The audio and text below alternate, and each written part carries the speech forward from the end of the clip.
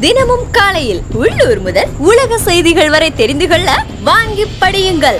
மக்கள் ராஜ்யம் தினமும் உங்களோடு. உடனடி செய்திகளுக்கு டபிள்யூ டபிள்யூ டபிள்யூ டாட் மக்கள் ராஜ்யம் டாட் காம் தன் கணவர் மீது தாக்குதல் நடத்தியவர்களை கைது செய்ய வலியுறுத்தி திருச்சி காவல்துறை ஐஜியிடம் மனைவி புகார் மனு அளித்துள்ளார்.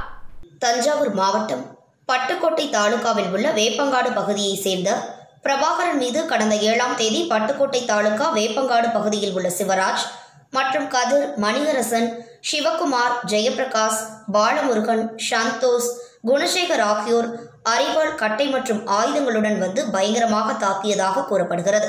இதனால் பலத்த காயமடைந்த பிரபாகரன் புதுக்கோட்டை அரசு மருத்துவமனையில் உள் நோயாளியாக சிகிச்சை பெற்று வருகிறார். இந்நிலையில் இச்சம்பவம் குறித்து தஞ்சை மாவட்டம் திருவோணம் காவல் நிலைய உதவி ஆய்வாளர் மற்றும் ஒரத்தநாடு காவல்துறை கண்காணிப்பாளரிடம் பலமுறை முறையிட்டும் இதுவரை எந்த நடவடிக்கையும் எடுக்கவில்லை. என கூறி பிரபாகரனின் மனைவி பாரதி திருச்சி காவல்துறை ஐஜியிடம் புகார் மனு அளித்தார். மேலும் தனது கணவர் மீது தாக்குதல் நடத்தியவர்கள் மீது உரிய நடவடிக்கை எடுத்து தங்களது உயிருக்கும் உடைமைக்கும் பாதுகாப்பு வழங்க வேண்டுமென மனுவில் தெரிவித்துள்ளார். கணவரை வந்து கொலை செய்ய முயற்சி செஞ்சுருக்காங்க. அவங்க எல்லாம் சேர்ந்து என் கணவரை கட்டை கப்பு கட்டை எல்லாம் சேர்ந்து அடித்து கொலை செய்ய முயற்சி பண்ணாங்க. நாங்கள் குடும்பத்தினர்கள் சேர்ந்து காவலர் சேர்ந்து ஹாஸ்பிட்டலில் அட்மிட் பண்ணி வச்சுருக்கோம்.